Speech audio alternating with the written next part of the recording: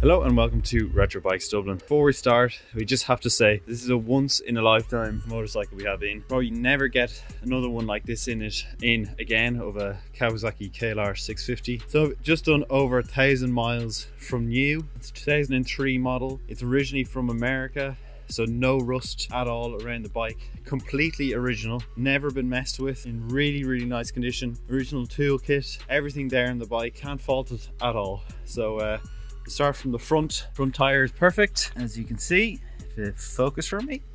Here we are front mudguard then as well as in really really good condition. Front plastics front headlamp and indicators are original. Everything working on the bike. All this very clear up the top in the windshield. Left and right hand side um, protectors for your hand. Right hand side of the bike then you have some very minor scuff up on the top right hand side of the headlamp being really fussy here because there's not much to point out. Indicators original gators all there and not ripped or anything like that or any sort of damage in them at all. Again front mudguard spokes are in really really nice condition as well as the actual alloy itself. Bash plate again is usually a good sign of how many kilometers a bike has done so i'm actually going to get underneath it here and show you that there's literally not a single dent or nick in that bash plate. Right hand side of the bike then, exhaust and engine area are really, really good condition, just showing some size uh, signs of aging, uh, which you just get on metals anyway when they when they age over uh, what would be uh, 17 years now. This uh, bike would be, and as you can see, all really good here. Pillion pegs here as well and present. Everything is in really immaculate condition. Brake pedal on the right, up onto the tank and plastics area some very minor little things here. Tank then is in and the stickers itself are in immaculate condition. Really can't get any better than that. Kawasaki original seat no rips tears or any sort of doesn't even look like it's been sat in. Up over the top then tank is in mint condition. Really really is. Up over the top then clear plastics as you can see that uh, 1934 miles on it only handlebars are in lovely condition. And the main thing you'll feel when you get onto the bike is the kind of everything as if it's brand new. Everything really feels tactile and there. All the text for the gauges on the left hand right hand side have no signs of any fading or anything like that. Choke cable every, all all there. Original Kawasaki key as basic as they are still original. Up over you can see inside then as well. No signs of any sort of dirt or rocks or anything coming up there messing anything. Original cable ties from factory holding in the electrics onto the rear then. Right hand side minor little mark here. 650 decals all really good condition. Exhaust no signs of rust at all the whole way through it into the header. Rear tires in very good condition as well. Rear disc here is in great condition as you can see. Another great indicator of a bike's mileage uh, than, uh, than just the speedo is the score scoring on the um, disc itself and this is very very little, very minor and completely smooth. 2003 bike.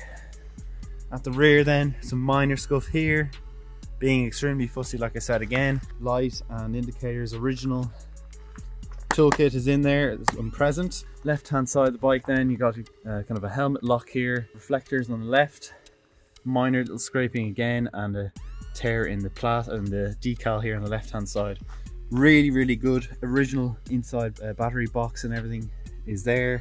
Chain guard is present as well. Main stand and a side stand on the bike too. Bash plate there. All the engine area all really clean. Left hand side of the KLR tank then really beautiful condition. Some minor mark in the decals there left hand side. Plastic there in the front of the tank all there present. But even if you look at the screws all the tops of the screws are in excellent condition.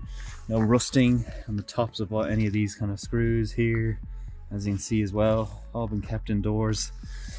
All the screws and everything in really nice condition. Amazing really. So i did a really in detailed look at the bike on a visual uh, aspect but really stunning bike and we'll move on now to the ride along video so we're on the KLR 650 stunning only uh, 1959 miles on the clock so uh, one of a kind, American import, all original, never been messed with, fettled or anything like that. So I'll just show you first how to uh, start the bike. Make sure the petrol is on the on position you have the arrow here pointing down. You then want to obviously turn on the ignition, put your leg over. The first thing you'll notice actually before I do the ignition and all that is the bike is quite a tall bike.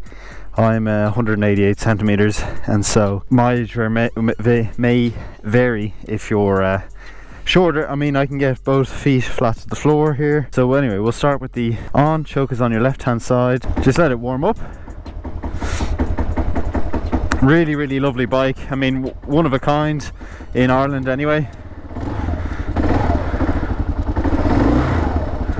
There we are. Really really lovely. Straight into first gear. You'll notice on this bike when you uh, if you come to ride it all well obviously you're not going to be riding it. If you do purchase the bike it feels absolutely brand new. The bike feels as if it's just rolled off the production line everything all the tactile buttons clutch you know super easy to, to uh, get at these lower speeds. There's no clunking. Oh, the feed from the carburetor obviously is just super smooth. Everything is really really nice. And like I said everything just feels absolutely brand new. Anyway we're going to go up and around here. Head oh yeah no cancelling it's just left and right here. And we turn left here again. Don't knock down this cat hopefully but really special bike only 1900 miles on the clock. Plenty of power in the bike uh, as you expect from a big single like this bike.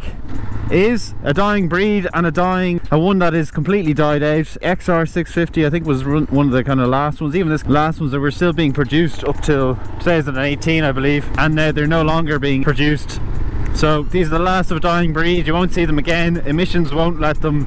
The new emissions rules like for the euro 7 emissions rules for, for, motorcycles just won't allow these type of bikes to be produced as they just don't meet the kind of choking that needs to be done to bikes nowadays to uh, get them greener and greener which is all good and well for the environment. I mean i'm not saying anything against it but i'm just saying that this is you're not really going to see these big singles existing any longer. So they really are fantastic tools for everything. I think a lot of people say they're not uh, particularly brilliant at any one thing but they're they're good at everything. Off-road on-road you know everyday use uh, long trips you know motorway use everything viable on these things. And that's why you see a lot of them being taken around the world on uh, trips. I mean everyone's looking at the bike um, you see them being taken on trips all around the whole world. Any sort of conditions desert conditions snowing sand all that kind of stuff dirt everything. These bikes are capable of they're really rock solid bikes if they're kept well. This one I presume will probably be going to you know someone is going to do very very small mileage on the bike per year or else uh, a collector of some sort uh, because it's just so unusual to see a bike like this in this kind of condition and also with the low mileage that the bike has. So we're not really going to do too much mileage on it because we do want to keep it as fresh and original as possible. We'll get off the bike now and I'll just show you the uh, electrics and all working on the bike. So first we'll do the indicators. Left hand side indicator is perfect. Right hand side indicator is perfect uh, lights then. You see the low beam and high beam working. Anything else on the dash that I can go over? Starter uh, choke horn. Horn working as well. Ticking over very nicely as well. I'll just get the phone out to get a picture for the thumbnail of the video. Uh, let me just get this here. There we are. Really stunning bike and a very desirable bike of that. I mean, the money we're going to be asking is going to be quite high, but I mean, uh, to find another one like this anywhere in the world, we do have quite a large audience now through YouTube and Facebook, which we do sell not just only in Ireland but outside England being a predominant one which is unfortunately probably going to go away come the new year but uh, also Australia and Germany are also quite uh, popular buyers for our bikes well that's been it. That's been the KLR 650 if you have enjoyed the video please do leave it a like. Also if you could comment down below on your thoughts of the KLR 650 uh, that would be great as well as subscribing. We're nearly at uh, 3,000 subscribers so if you could subscribe that would be greatly appreciated. As well as that uh, if you do want to reach out to us on our socials they are at Retrobikes Dublin Instagram and Facebook. Our official uh, website is www.retrobikesdublin.com that's been it for the KLR 650 thanks for watching